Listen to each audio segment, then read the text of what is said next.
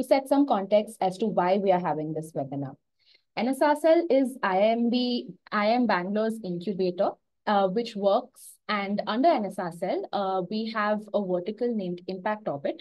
Uh, Impact Orbit works with both for-profit and non-profit social impact ventures, uh, working in various sectors, for example, the tech-enabled space, as well as circular economy, rural entrepreneurship, to name a few. Uh, we are a part of the circular economy program, which has uh, been running since 2022. In the last two years, we have partnered with various organizations like Acumen and Pernod Ricard India Foundation. And we have successfully incubated about 33 ventures in the climate and circular economy space.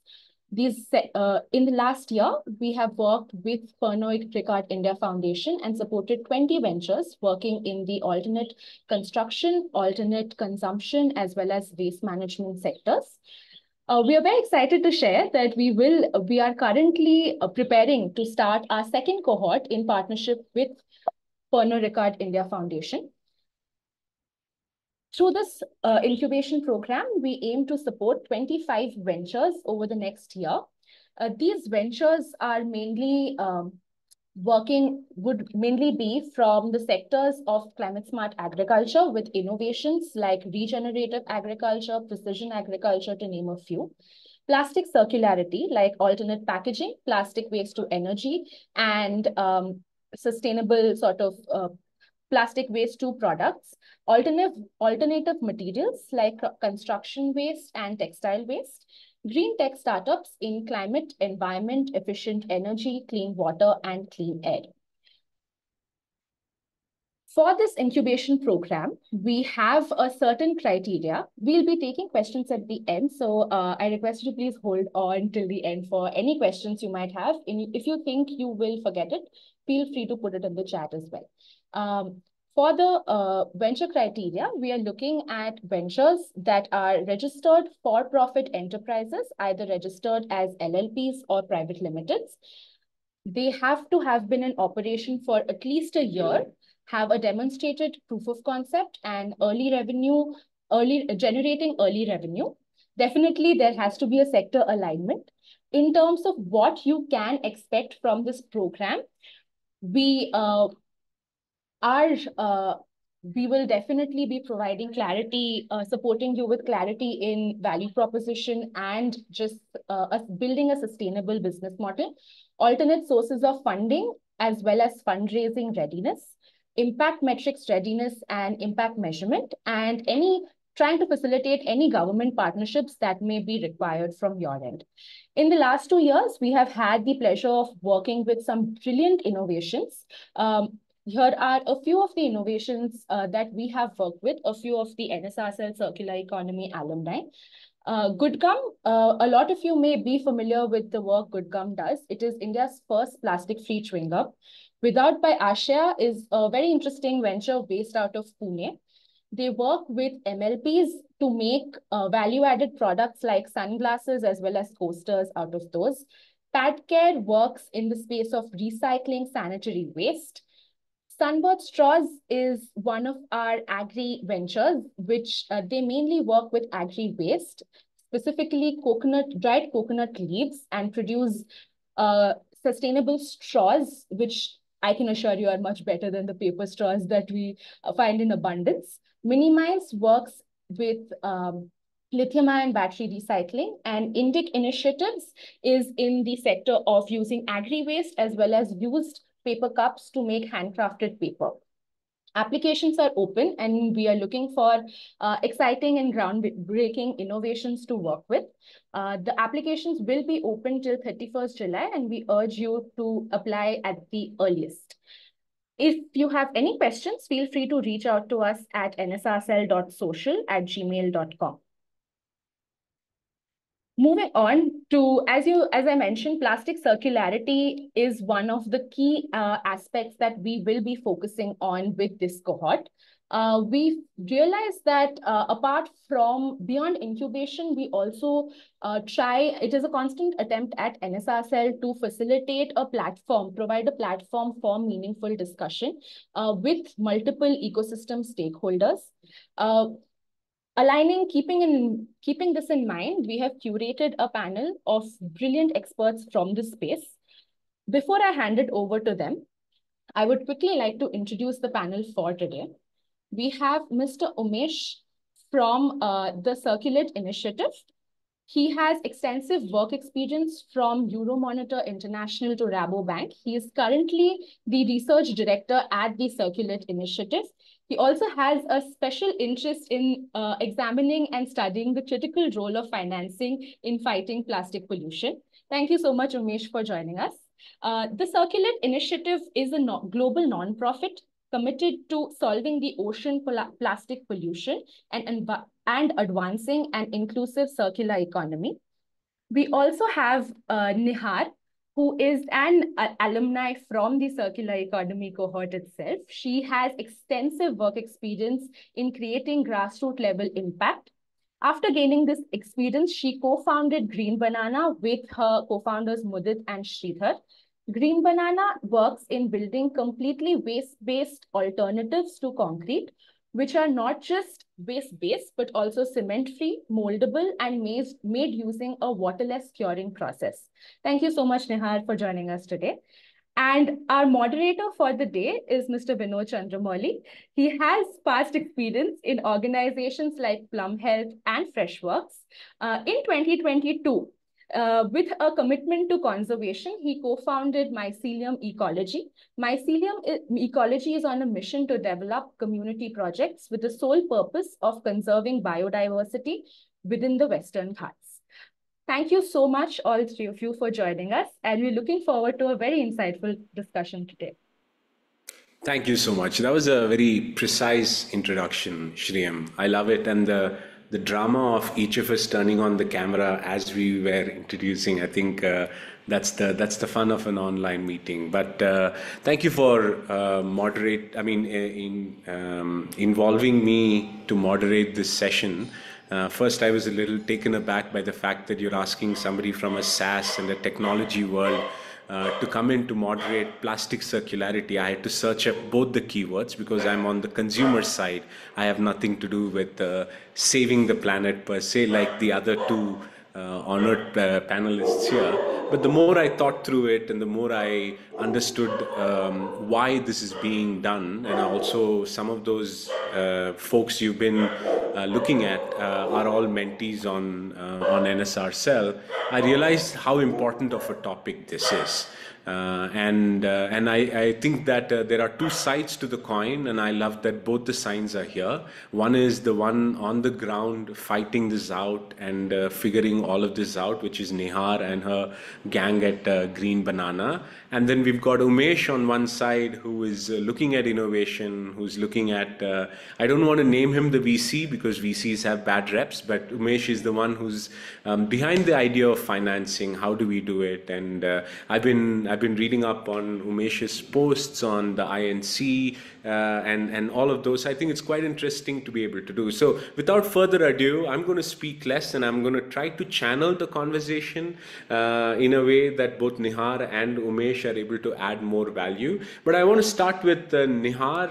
Uh, by way of introduction, if you can begin by talking about your problem statement um, between the world of NGO you were in uh, for almost a decade and then building Green Banana, uh, I think it will set the stage really well. Um, yeah, thanks, Vinod. I think, uh, uh, okay. So before I even like to, you know, I'd like to talk about what I'm doing and the whole problem statement. I'll just set the context first. I think the whole circularity topic that we keep talking about and plastic circularity that we keep talking about, it's very similar to the game Chinese Whisper, right? And um, it's multiple levels of unit, seamless, up, seamlessly, apparently seamlessly working together, passing on the systems, the resources, the information from one unit to the other. So when we talk about circularity coming from the impact space, it starts from waste generation to collection, to sorting, to transportation, to processing, and to consumption as well.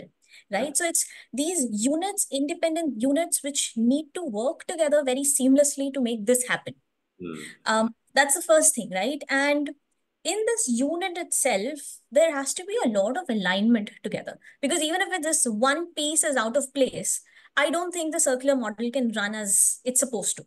And that's that's in fact that is the ground reality that is happening, right? And that's the first thing that we understood that it's not one thing that we're out there to solve. There are multiple levels and layers of problems that need to be deep dive in and need to be solved for. We have not solved for everything, right? And none of us, none, none of us have solved for everything, but this identification was the first thing. So I think hmm. what I would say as a problem statement, the first problem statement that we took was this, that how do we create these unwritten SOPs for hmm. this game of Chinese whisper to flow very nicely with each other, for people to work together, collaborate. Um, a lot of conversation has happened around people who are working with waste on ground, rag pickers, right? People who collect the waste, have been segregating it. But it's not enough. A lot of people, there are tempo walas, for example, right? I'll keep switching between my language. This tempo walas, कचरा कैसे collect करना है segregate करना है हमने सिखा दिया but mm-hmm. there are also people who are going to logistically manage this. Now, if Tempo Wala does not know how to hold it, load it, unload it, it these are these small unwritten SOPs. So the first problem that I think we identified and really worked to solve was aligning this circular model in the first place. Second, I think what Shriyam was also introduced, for us, it was also about how does this waste not become a waste or we don't become a waste management yep. organization and look at waste as a solution to solve a much larger problem because till that does not happen the economic viability the sustainability of the system we might do it for a while as um, a charity or donation or a system that is funded through charity, right? But for it to sustain on its own, we keep talking about scale. For it to scale on its own, can that waste really solve a larger alignment issue? And that's where we looked at resource consumption, construction as one segment, concrete, the highest GHG emitting material that we keep talking about. Can we really replace that? Was a second layer probably that we looked at. And I think third, very briefly, um, we, what we wanted to also do it is uh, make it, like I said, commercially available, commercially viable, accessible, right? And that had to be done from design aspect. Yes, you have to design the end product also very carefully, curate it very carefully. You have to design your machinery, your capacity, your availability in the same way. A lot of things have to be innovated for that. And the last bit becomes the supply and distribution because you're bringing a new material into place you there's a lot of awareness that has to be created. Like you said you know you you you you are a consumer and consumers have right to ask questions. And we also started out even if we do know about what we are working on or the segment that we are working on there are a lot of gray areas that we need to ask questions about and solve for. So just to introduce and set the context these three layers is what we identified as problem statements and began with Love it. Love it. So one is the the whole the production line of it, then trying to see or either define it, even if you're not solving for it, right? And then the second is the idea of uh, waste management, but not in its true sense.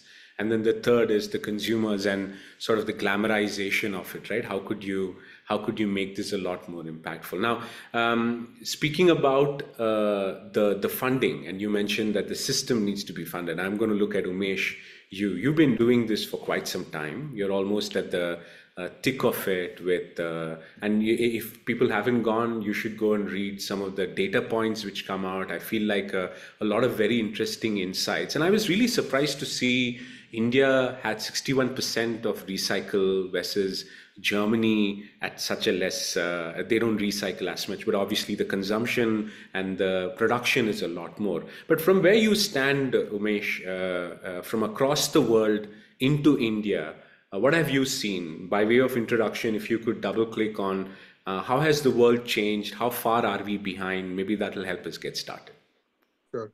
Um, first of all, uh, thanks to the NSRCEL team for having me here and, and Vinod for that wonderful introduction. Uh, thanks also to Nihar for setting the stage. Um, clarifications in order. First of all, uh, I work for a non-profit, not for a venture capitalist organization. Um, so that's first things first. Financing equates to venture capital in our world, at least the world I come from. So I love that you're correcting me. Thank you for yeah. that. Um, we do, however, uh, work closely with a mission-aligned investment partner organization called Circulate Capital, mm. which has made several investments uh, in India. So as, we go through the whole discussion today, I'll be referencing some of the investments they've made and the rationale for some of these investments as well. Um, then again, back to the problem statement and why we are here and what, we are trying to do with uh, the Circulate Initiative. I think if you go back to where plastics was first started off in, and how it has been, at least up until the early 2000s as well, it, was always seen as a fantastic material. It, continues to remain a fantastic material. There's so many positive properties, uh, applications, and benefits.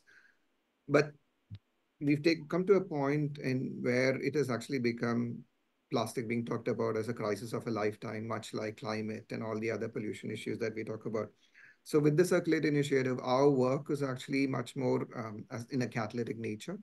Uh, so to make sure that entrepreneurs like Nihar or the other entrepreneurs working on in this space know the resources, the knowledge, the data that they need to make sure that their business continues to grow and scale.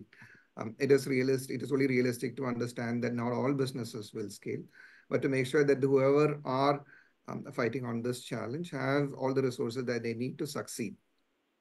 Now, that's the context. Now, comparing and contrasting. I'm glad that you brought up the 60% recycling rate for India because, and, and you contrasted it with Ger Germany. Uh, always take data such as recycling rates with a pinch or sometimes even with a bucket full of salt. The reason why I say that is because when you talk about, uh, say, for example, 60% recycling rates, um, you have to start thinking about what's definitions. And I'm, I'm a research person at heart, so I keep coming back to definitions, coverage, scope, etc. Uh, a recycling rate of 60% is applicable to some of these materials which have higher recyclability. So for example, if you look at materials like PET, which obviously gets picked up from the waste stream, uh, that has higher recyclability. The moment you start talking about materials like films, which obviously your waste pickers don't really have the sort of desire to pick up return on investment or the return on their effort, so to say, is low. That has absolutely abysmal recycling rates, if any. And then if I start talking about multi-layered plastics, that's even lesser. So compare and contrast. Also, what is recycling? So in some of the more developed markets, um, material which is picked up and sent for incineration is considered and treated and defined as recycling. In a lot of the other markets, if actually the material doesn't go back to full circularity, like uh, with plastics recycling, uh, it is not, right? So you don't have material coming back fully circular. So that's another definitional issue as well. Oftentimes people confuse collection for recycling with recycling as well. Yeah. That is a big issue. Material that's, that is collected often doesn't necessarily mean that it actually get recycled. So these are some of the important considerations. Um, India in general is, at least among emerging markets, is, is seen as a good shining light or a good example to follow.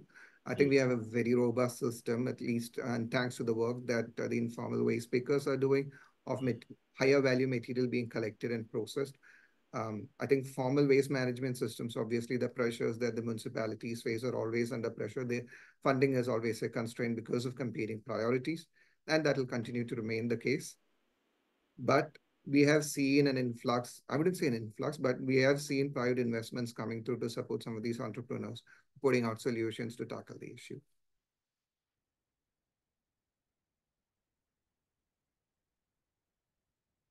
I see how you're moving and I and we know the screen is frozen, so I'm assuming the internet connection is not on my side. Yes, uh, I think Vinod's screen is stuck fair enough. Happy to hold. I'd just like to add, meanwhile, sure. um, Vinod gets back, right? Like you used a very exciting word or interesting word, return on, um, return on uh, collection. Yeah, I think there's one more element to this. There's also a return on segregation that happens at the rag picker level because there's so many different layers of plastic waste that are that is out there, or even waste that is out there right? Even that becomes one of the factors that they're looking at in the recycling space. Absolutely. Yeah, hi Vinod, you're back. Hi, sorry, I don't know what happened. If it was on a live stage, I would have just gotten disappeared and come back again. And I feel like uh, I don't know what happened on this. But uh, I got most of it. I could hear you, but uh, I think it was the internet on my side. but I love it. I love uh, the correction you made, but I also assumed from the it can't.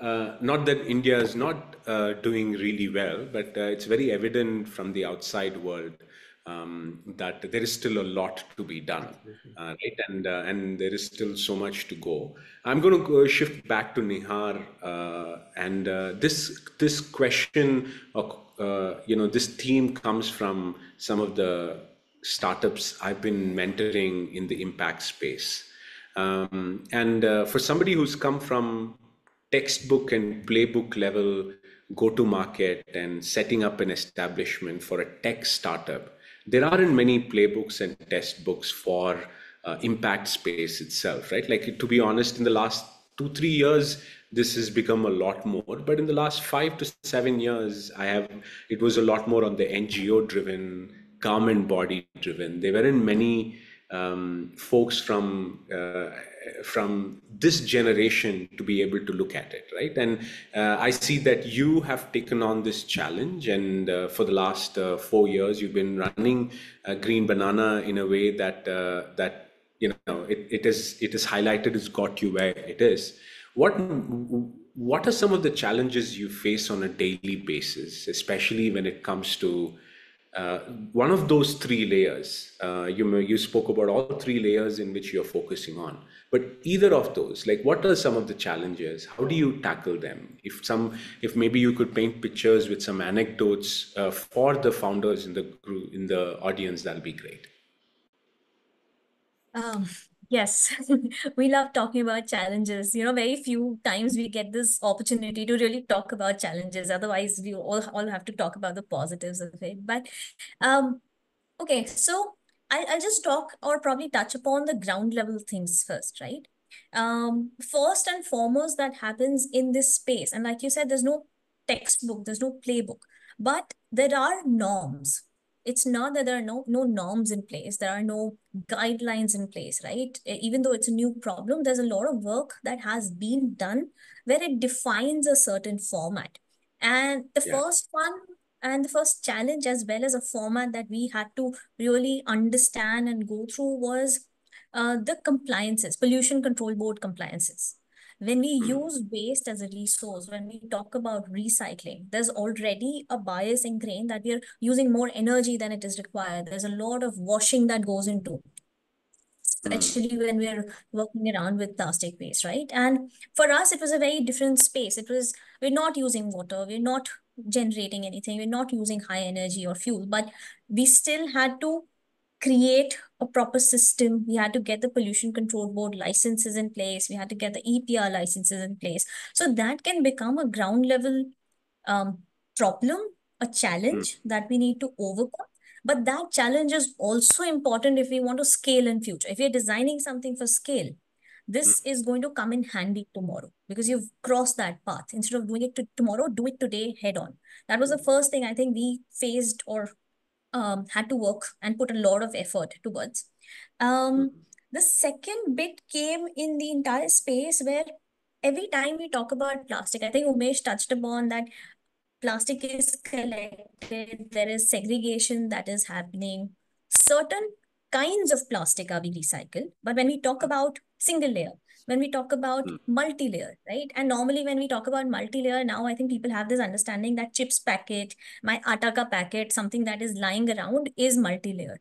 What we need to understand is there are more than 50 types of MLPs. It's yeah. not just the chips ka packet or you know plastic different types of plastic working together is also an mlp different uh, products different types of material together with plastic is also mlp and today working on the ground, we realized, or we, we have worked with more than 50 types of just MLPs that are not even chips packet today, right? And each of them behaves differently. Each of them has a different uh, way of segregation, working, processing that we do receive in a lot of times. So understanding that, working with the versatile nature of waste. It's not a standard when you get into recycling, when you're working with something that is um, waste as a resource, or a secondary material, right? It has gone through its own lifetime and it's coming back to you. It's not like a standard process where you'll get a certain spec sheet with your uh, raw material. You know, this is the spec sheet. I've tested it out and it works excellently well. If it doesn't work, I'm going to get it back. So it's a very different material, a lot of learnings. The learning curve is big when you're working with this waste. Industries themselves have more than more than 50, 60 types of just MLP that they're releasing, right? So mm. that becomes a second uh, ground level understanding, challenge, learning curve that we all need to go through. And that's one reason also why um, all of these data points, like, you know, Umesh said, is upper niche. You, you can't really believe it. A lot of times when say we say that there's pollution being generated, is it it's also categorized in different phases. So that mm. become that becomes the second one. The third uh, process comes when we are talking about acceptance of a new material right? Now you've done this, you figured it out, you've gone on the ground, you've got the things in process. Now you're, you're facing the consumer. There's a lot of awareness that needs to be built out. They have questions, they have uh, uh, things they want to know. There's a lot of bias that we are fighting every day. Mm. There's um, a lot of R&D that we at our level need to introduce, get it through and put forward in front of people when we're promoting or designing something that is used by a larger audience, right? And especially when it comes with the um, intent of impact. So people yeah. expect more. People, um, there's there's higher responsibility when you're building something like this because when you're going in with the right intent of recycling something, you can't cause more uh, negative impact than you intended to. So I think I'll just define it into these three segments where the most ground level challenges come apart from other things that fall into place and you know you need to navigate across the chain. Love it. I'm going to stay with you for a second before I move to Umesh because I want to expand from where you left off on the ground level into the the scaling, right? Like often um, a problem statement like this is already a behemoth of a challenge, right? Like you're working with governments, you're working with um, waste management, you're, you're thinking about supply, you're thinking about demand. But when you took on these challenges, what sort of vision did you set in terms of growth, in terms of scale, in terms of success within the organization? What are those? Can you, if you can help me define one or two goals you've set at the beginning, you've met, you haven't met, uh, that'll help. Okay, so um, how I would like to define it is in a little different way, right? When we started out, I think the first, the, the, the entire question of scale has become more important as we've started this whole uh, building the startup ecosystem in the country, right? We, we, I come from a family of um, job workers. I come from a family of people who owned businesses and they've had legacy businesses, family businesses.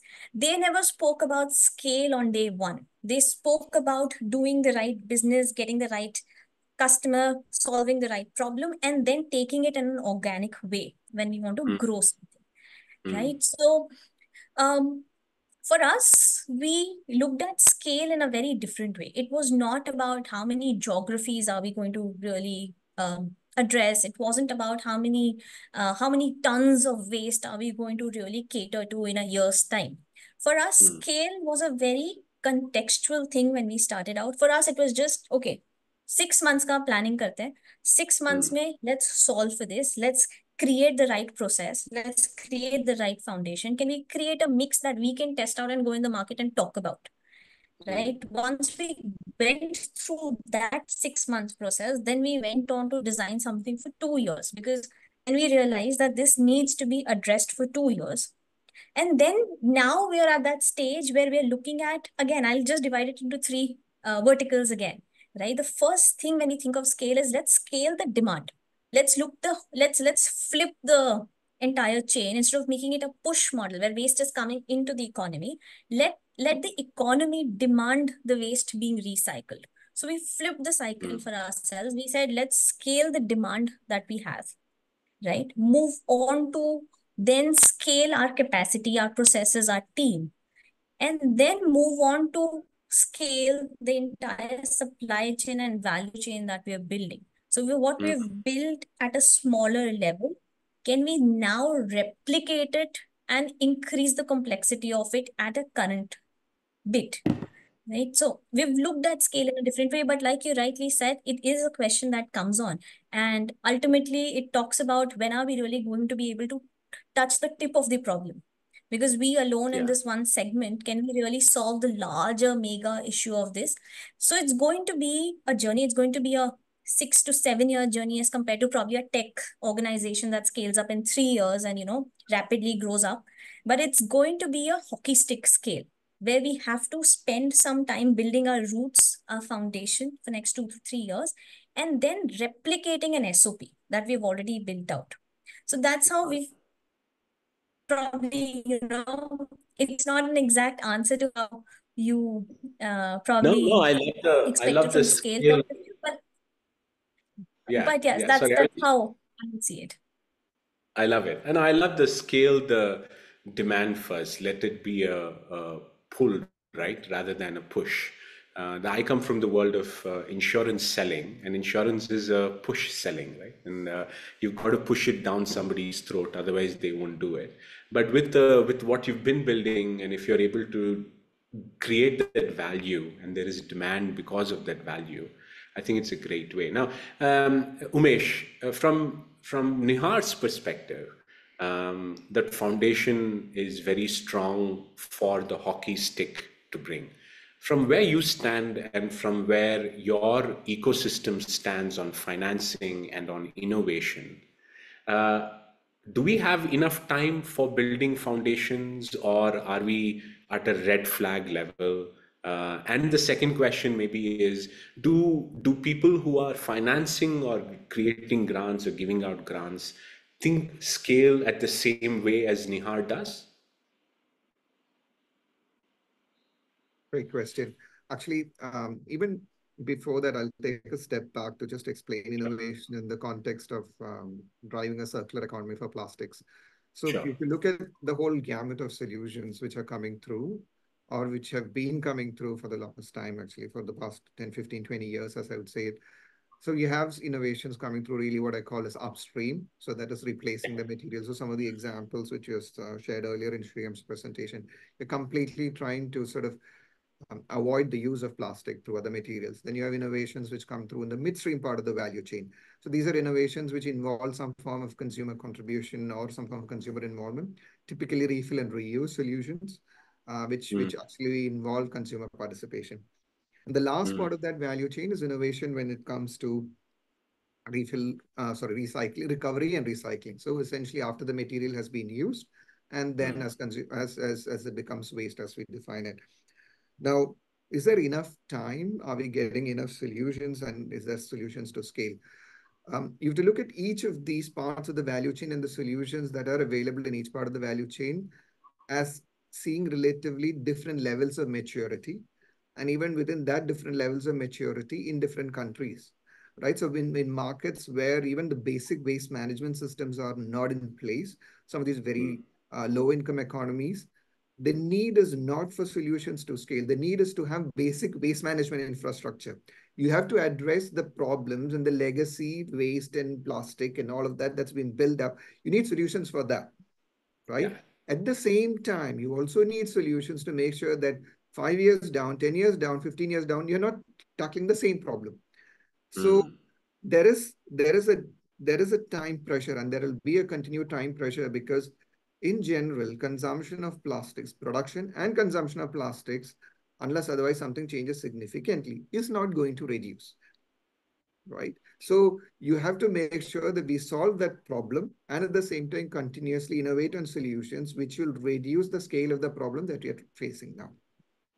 Makes so that's sense. an overall context with respect to what we see with respect to the solution. Now, on a funding side, what we have seen is that the more mature the solutions are, right, from an in, put, putting the investor hat on, the more mature the solutions are, the, the, the, the fact that you can showcase profitability, you're likely to receive investment. Now, as mm. you hmm. can imagine, obviously waste management is not the most attractive of sectors to begin with, right? People yeah. just look at it. Now, even within the whole ESG, sustainability, invest, impact investment space, again, not the poster child. You probably go for investments on the climate side of things. And if you look at Absolutely. even within that or, or slightly stretch that boundaries, a tech-oriented solution. So a waste management company who positions themselves as a tech solution is likely to receive, has a probability of receiving capital faster and quicker and maybe even slightly bigger ticket sizes when compared to a traditional waste management company. So that's yeah. where we stand with respect to how and where capital flows happen. But I, I did want to again reinforce a few things here. I mean, these things take time, right? Mm. Um, and I was, I, I, we had this sort of case study around Mexico and how recycling in Mexico to see the scale that it's happening now took almost 20 years. And that's big. Mm. And it, there was a confluence of certain things which happened. You had producers who came together and said, hey, we have a problem, we need to solve. We had policies which came in and put mandatory pressure on producers, on consumers, on the whole ecosystem to act. Then we had financing through the form of incentives, which supported as well. So I know Nihar uh, talked about collaboration at the, at the very beginning of her when she was explaining the problem statement. And it's the same, right? There's no point if you to put money into recycling infrastructure if you don't have whatever needs to precede that. So no point absolutely putting money into recycling if you don't have the collection infrastructure. So those that that is sort of a gist of where we stand with respect to investing uh, in in, in solutions that drive a circular economy for plastics. Um, we have seen we track investments, we track private investments in this space. Uh, we have a free to access tool called Plastic Circularity Investment Tracker. We've tracked yeah. for India about um, 700 million in capital flows, investment flows between 2018 and the first six months of 2023. Uh, no surprises, over 90% of that money actually went to recycling and recovery. And within that one single transaction, which happened a few years ago, which was Ramky Waste Management Services, which was bought by KKR, was the single biggest mm -hmm. transaction. And that's because yeah. it's a well-established company. There's a clear profit model which is there. Uh, the risk element comparatively is low. So the investor feels a lot more uh, comfortable.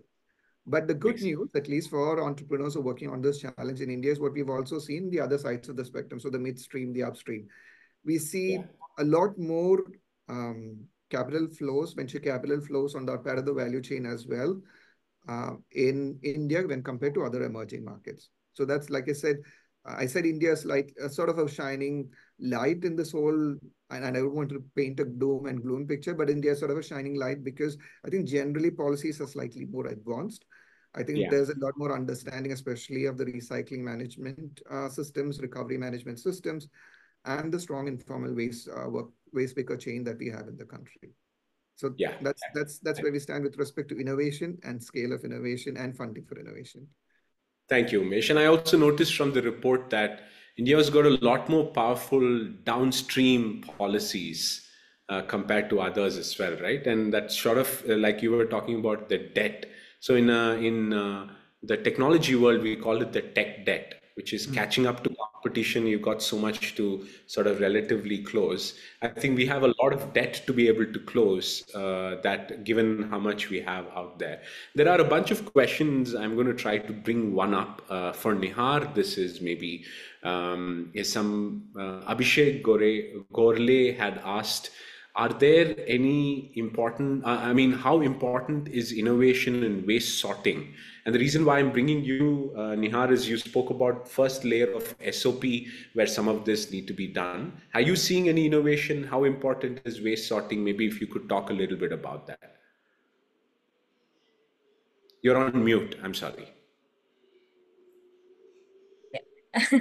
so uh, I think I would also like Umesh to probably chip in yeah. if you like. But you know, when it comes to when I talk about the waste ecosystem or the entire circular economy, right? Waste segregation at a generator level. I am the waste generator, right? Segregation at my level, collection, and then the sorting and segregation after being collected, right, is a very important foundation of anything that follows right after. So that's mm. the number one fundamental need of anyone who's going to get into using the waste as a resource tomorrow, right? Because this did, did not exist at a larger level, the recycling, the processing, and the consumption came in much later. But this was a sector that was looked at in the most, or I would call it a lot of startups began by looking and exploring this segment because it was that important. Yeah. Right. And um, there have been a lot of um, good innovations in the waste sorting system as well. Waste collection, waste sorting. Um, in spite of that, in fact, there have been good startups as part of NSRCEL uh, cohort as well who've been looking at waste sorting, automating waste sorting, right? bringing in technology innovations there. Yeah. Having said that, it still is at a primarily level where, like I said, we understand waste as MLP equal to chips ka packet, right? But we still need to deep dive further when it when we're talking about waste sorting ecosystem, waste sorting systems. If we can align, like the question asked, is there a need? Yes, there's a need which goes a step further from what has been already done in the automation space, right? Mm. If we hmm. can get that, uh, that level done, plus even if there is something that is out there when when it comes to segregation, I think it is still not completely automated. Most of the smaller places. So I'm operating the organization from a place called Anand in Gujarat, which is a small town, right? You will not see waste sorting systems, segregation systems, automated systems in place there. So the penetration is still missing. And mm. just closing on to one line here, like Umesh, you said that uh, waste um, overall, I think what is really happening is the waste penetration, the innovation penetration is something that needs to be scaled. the know-how is funded better the operational know-how. So once we start paying more attention to the operational know-how also as an IP, I think that is what the ecosystem overall also needs. So just two bits there. Uh, Umesh, please do add in this yeah, question. Not anything. Please yeah, do add. And also maybe Chirag has been waiting to get that. What is MLP category? What is those 50 counts? Maybe if you could double click on a what what other uh, categories within MLP uh, that are interesting, especially from India's perspective, that'll be good. I'll, I'll quickly um, intervene and comment on waste sorting, and then I'll let Nihar talk about MLP. Um, I think you have to look at the overall market dynamics um, in emerging markets like India. Um, you have to look at the cost of investment, what works uh, in, in, a market like India may or may not work in other developed markets. So in this case of waste sorting, in most lines, as you may call it, it's human sorting. I think people look, feel, and most workers who work in these facilities have a really good eye for the material, right? they pick up. So if you are, or if anyone is thinking of a waste sorting line or segregation line, please make sure that it works with the current system where you already have hand sorting which takes place and what is the value accretion that this waste sorting brings in addition to having people. If not, then obviously there is no value addition, then there is no value. And it's again going back to the whole investment scale up story. If you don't have that story to sell, then obviously unlikely that uh, the cash flow would come or the investments would come through. Nihar, I'll, I'll let you feedback on the uh, MLP types MLP. that uh, you experience.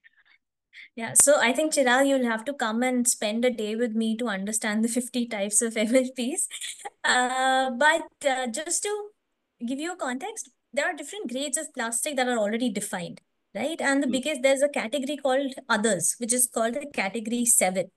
Now, a lot of the plastic categories which cannot be defined fall under this others right and even today i don't think at least i'm not aware right i only have operational know-how of how things work at least i am not aware of how many different subcategories the others plastic category has today but just to for you to imagine the MLPs that i'm talking about there is cloth and plastic together. The paper cup that we use, it's paper and plastic together. There are, if I name seven different kinds of, if I'm talking about seven different types of plastic, category one, category two together, any category combination forms an MLP. And each category has a different property and they behave very differently. So when they're fused together, when they're working together, when they're even attached together, it becomes a different process to deal with them right? So I'll not name all the 50 categories that I would invite, I think Chirag to spend a day with us and go around and probably explore. But just for clarity, these are the things that we look around and experience when we're working in the space. Love it.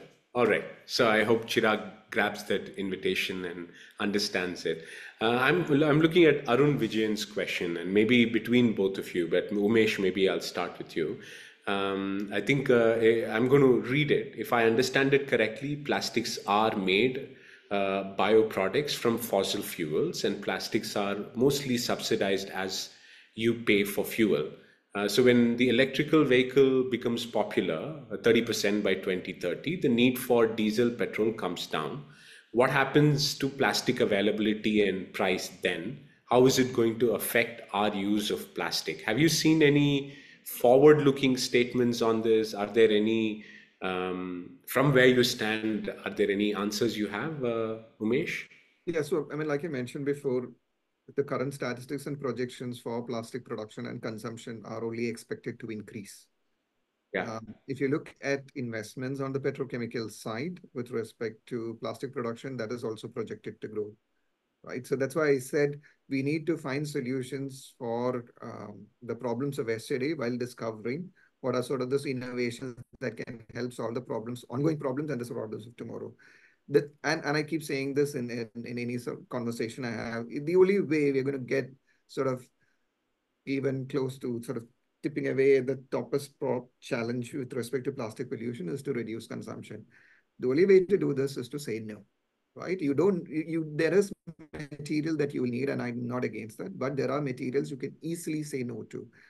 There is a lot of stuff, whether it be refill reuse, whether it be avoiding that plastic bag which you really don't need or any of those very simple solutions which we as consumers can do. Simple things. I mean, segregation law has been in India for the longest time and in cities, and we all need to do it. it recycling is not necessarily a 100% solution, but it is a solution which will work to a large part. Please make sure that that works well. So that's what I would say. I mean, I'd definitely say that regardless of what EV vehicles come through on board and potentially petrochemical industry facing challenges, the current projections are that plastic production and consumption are expected to increase. Uh, plastic, price competitiveness of pl plastic vis-a-vis all other materials. And I draw this parallel always. I, I used to be in a bank and we I used to closely look at the consumer food space. Mm. And we had all plant protein coming through. And everybody was talking about plant protein being the next big thing. And I compare that with animal protein, an industry which has been around for 50, 100 years. And I've then fine-tuned the cost mechanics so much that it's so difficult to compete on a pricing level. So pricing will still remain competitive down the road as well, regardless of what happens with, say, internal combustion engines and EV vehicles and so on. Got it.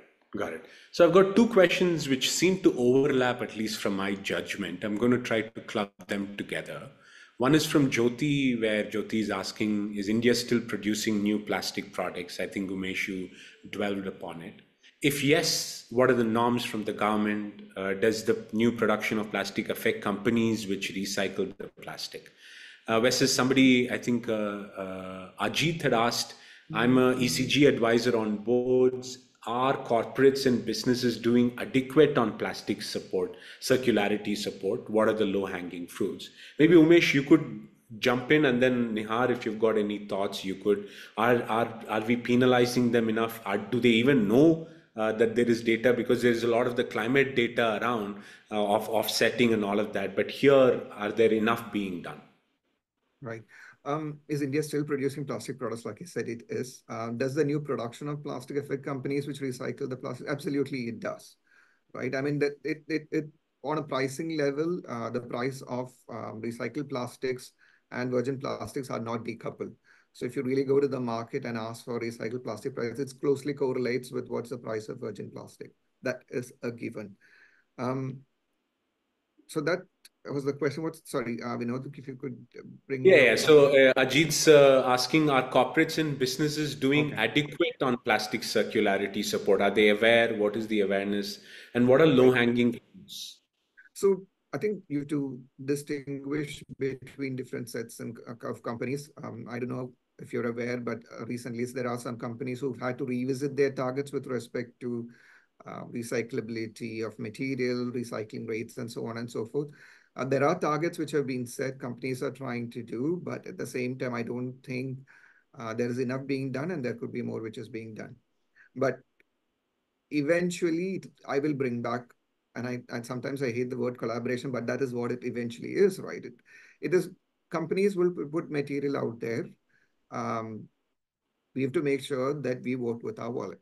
If we don't buy the material which is put out there in a certain kind of packaging, it is likely that they will shift and they'll be forced to shift as well. I don't know if penalizing is the right answer. Uh, I, hmm. I think it has its own pros and cons, and I and I, I don't want to even say uh, victimize plastic and say it's the evil material. It is not. I mean, there's so many fantastic properties, uh, food grade properties. We just don't have a re replacement. And um, it happened with the ozone layer and, and the regulations around the ozone layer. And I don't want that happening again, which is a regrettable substitution. We realized that, oh, we've completely faced it, let's say 50 years down, we realized that we've completely replaced plastic and we have a completely new material. And on certain indicators, it actually is worse than plastic. That's a situation we exactly want to avoid as well. So what are those low-hanging fruits with respect to where plastics can be avoided, replaced? What are those where it cannot be and it will continue to be? Medical applications are some of those where we'll continue to need it. There's no doubt about it. But there are others where we don't necessarily need. I mean, I, I live out, I live in Singapore and I've and I've been to Korea and I've seen a banana, a single piece of banana actually being wrapped in polythene. I, I'm like, why? Why would you yeah. want to do that? I heard oh, the argument, yeah. yeah. I've had the argument about cucumber and, and the shelf life of another four to five days that you get for cucumber, which is wrapped. I'm like, okay, I get that, but is really is it really needed? So there are those where you can actually have avoidable plastics, avoidable single-use plastics in particular. There are others where you continue to need plastics because of the valuable properties that it brings. Yeah, yeah. Uh, uh one question, maybe Nihar, uh, adding on to it, is uh, two. There are two questions both you can take. One you've already seem to have answered, which is from Satish. What are the biggest challenges in plastic waste collection? Uh, and then Babulal is asking, do you think a lot of recycling infrastructure can solve plastic pollution problem? Uh, if yes, how do you think demand for recycled content will compete with virgin plastic material? Right uh, in your field there, uh, Nihar. Maybe you could take this as one uh, one answer together. You're on mute. Yeah, there yeah. you go. uh, okay, so one, I think a lot. So this is a very common question that comes a lot of times. Just because a recycling solution exists, and I think I'm just going to second what Umesh said uh, a while back that a single recycling solution is one not the ultimate answer to the entire problem right? It's one yeah. part of the larger umbrella. There are alternative materials that are out there. there there's massive reduction in consumption that we have as a choice that we can do, right? And uh, in terms of uh, recycling as a solution, it is going to be a solution for, again, what Umesh said, a lot of areas where we cannot replace a material like this right? The consumption has will or might continue. So while it does continue, we will continue needing these solutions that are in place. But that in no way is a response to, you know, there is a solution out there. There's a way we can handle this and let's just continue doing and consuming at the scale that we are. Second, I think what um, interestingly there was, so I'm just touching upon this waste segregation collection challenges point. There was a case study that was done in Japan and it's um, on the waste bin, the way they designed their waste collection bin. So they had a very uh, nicely smart bin designed for waste collection and they kept it there in the public space and thought, you know, people would put out the waste and it'll be segregated. What they realized was uh, it completely failed it completely failed as a system and as a solution. They did their second trial where they placed a transparent uh, dustbin in the public space. And they suddenly realized it works, right? And this is what they call as a shikake concept. There's a very interesting book on this where they said that because people were so conscious that if I'm going to put the wrong waste in the bin, there are other people who will be able to actually see that I've done the wrong thing socially, people started segregating it. So we didn't need advanced, smart solutions to solve the segregation collection problems. All it needed was a very smart behavioral solution to sure. probably move that change across, right? So, um, collection, the biggest problem, I think, in the collection, just one last thing. Waste is no one's problem. The biggest problem in this segment is that waste is your problem.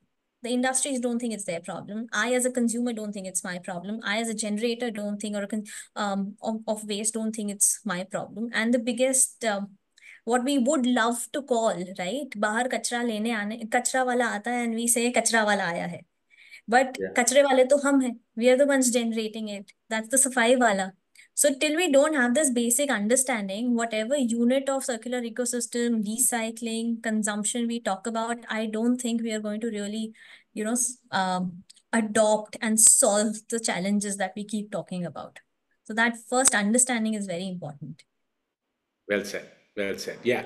Uh, I think Chirag also brings back uh, Umesh or maybe Nihar, if you could jump in, is uh, how can one find jobs in this sector? There are no certifications, and uh, and I think there are a lot of questions on how do we read up on it? What are how do we understand? So maybe Chirag, who are some players in this field who people can look up to? Obviously, the Circulate initiative is one of them. But other than that, how do you keep up on tab? What are some important papers you could read, places you could visit, things like that, please, Chirag. Sure. Umesh. I mean, like I said at the beginning of the call, um, our our goal and our reason for existence is to sort of support entrepreneurs and others who are working on a shared uh, challenge.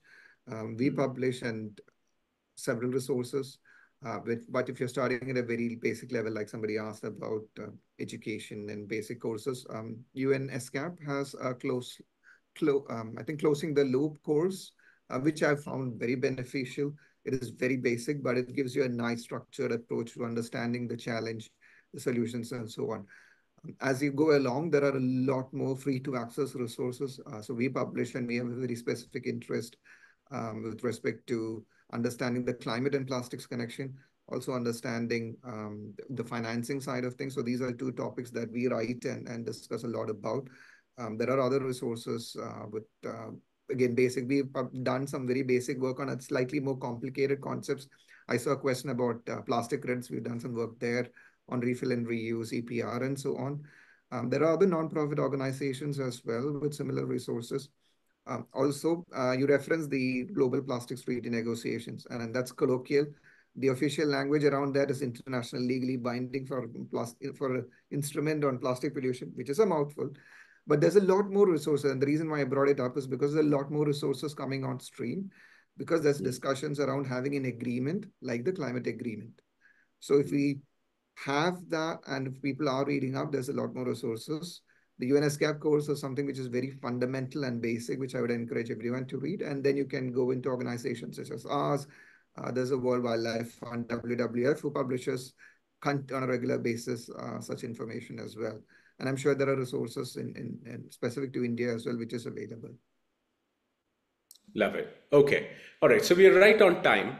Uh, and I've got a lot of questions which I'm hoping we're able to probably type and reply to people. But uh, one question from Shravan is a great way to end. What is the future of circular economy? What is the utopia world you believe in? Umesh, and then we'll end it with Nihar painting the picture on what is the future of circular economy from both your perspectives. Right. I mean, for me, it's very straightforward, which is, um, and I, I, I, keep referencing this. It is it is not to say that uh, we should stop plastic production. It's not realistic, and it's not achievable, mm. and it's not necessary.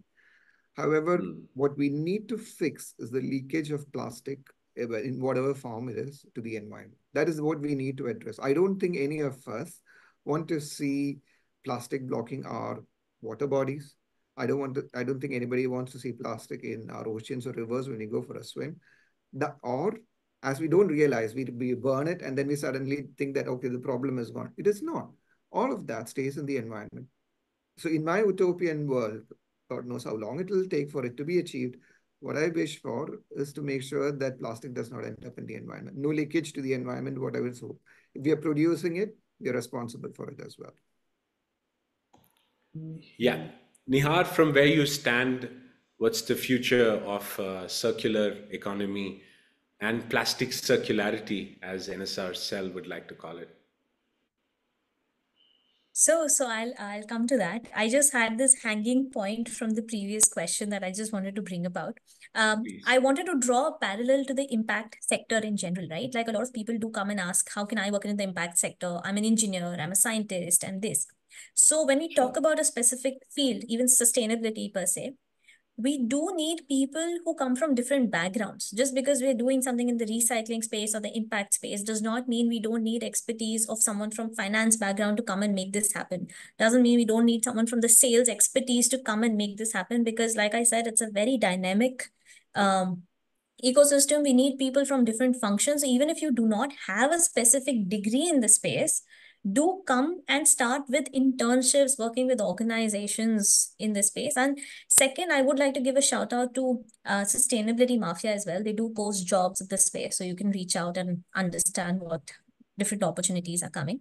Um, now coming to the whole closure of what you asked you the utopia. I don't know about the utopia but there was a very interesting quote in times of india today by Thich Nhat Hanh where he talks about how we as people normally cut reality into compartments, right? And so we are unable to see the interdependence of phenomena happening. So to me, I think the utopia is the day the entire circular chain, we are looking at it from a larger perspective. We are able to have, I come back to collaboration, where we identify each of us in the space, identify our core, identify the value proposition that we can bring into the circular ecosystem space. And each chain can work, contribute, and let it go like a wheel. Can we let it go like a wheel? Can we keep flowing forward, right? Working together and collaborating in this space. The day we achieve that, I think that is a realistic utopia for us to set our milestone with and then probably keep setting new utopias as we keep hosting panels and keep talking to each other and setting new narratives here. Okay. Love it. Love it. And uh, i think for me the biggest takeaway is the fact that plastic is not the villain here.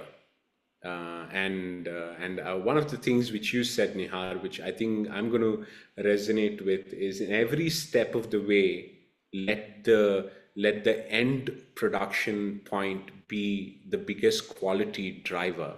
Uh, and if you can solve gaps in each individual layers, then you don't need to worry about the demand or the supply because it automatically fills in. I think that's a that's a great uh, that's another great lesson. And I think uh, Umesh, um, the the fact that India is a shining light uh, I've been an extreme pessimist to this as a consumer, as somebody who sees plastic everywhere. But I also know that it doesn't it doesn't mean that all things are bad, and I think there are enough and more being done here.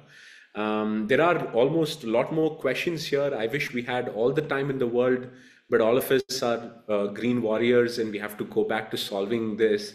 So I'm going to find a way, maybe. Um, I don't know, Shriyam, if there is a way we could get these answers as part of the recording, and then Umesh and Nihar can uh, uh, reply to it and we can post it up along with the recording. I think that'll be great. Yes, yes. I think we can do something about it.